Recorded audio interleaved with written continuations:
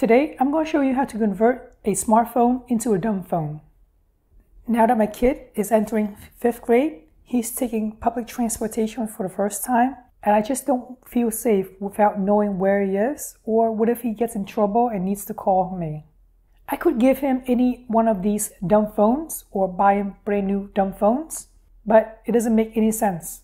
Why buy something new when you already have something that's readily available? Chances are you have a bunch of smartphones laying around from the earlier years that you're not using. Obviously, I don't want to give him a smartphone with all of the internet capabilities like social medias, adult websites, and stuff like that. That's why I'm going to show you how to convert any smartphone into a dumb phone. Super easy. We're working on a Android phone right now, so let's go to the search. Search for Olauncher, click on install, Click on open. It will give you four blank apps.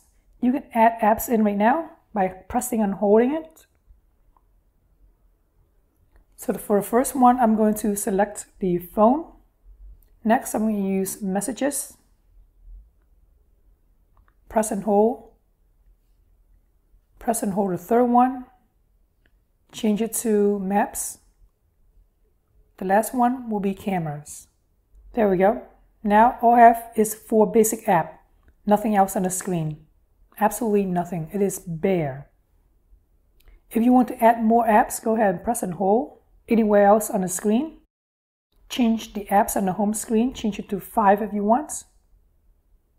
That way you get an additional app if you want more apps to be on the screen, on the home screen that is. Go ahead and set it up as the default launcher. All right, so we're going to select Olauncher and set it as defaults. That way, whenever you press on the home screen, the home button, it will go back to this home page, which is bare with only five apps. If you want to see more apps, go ahead and pull it up. And now you have additional apps that you can always open. Now, with so many apps, it can be distracting. You can always press and hold on any app that you want and then click on hide. There we go. We're going to hide this app. It will give you a warning to let you know, even though it's hidden, you can always find a way to resume, to unhide it, that is. Click on OK. Let's go back to the Play Store. We need to install one more additional app. Let's get this App Lock Pro. It looks pretty good with high ratings. Click on Install. Click on Open. Set up a PIN. Click on Create. Verify the PIN one more time. Click on Save. Allow permissions required allow some permissions, such as show over other apps. Click on Permits. Click on OK. Click on OK. Permits. Click on OK. Click on OK. By default, it's going to show you some of the unlocked apps. And it also automatically locks some of the apps itself, such as Chrome, Google Play Store, and the settings. See where I'm getting with this? That way, your kid can't go into the settings and then change the home launcher to something else. Let's give it a try, shall we? Click on Settings.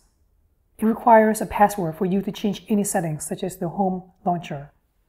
Your kid can't just go to the Google Play Store and download any apps that they want. Let's try it. Click on Play Store, and immediately you ask with a password.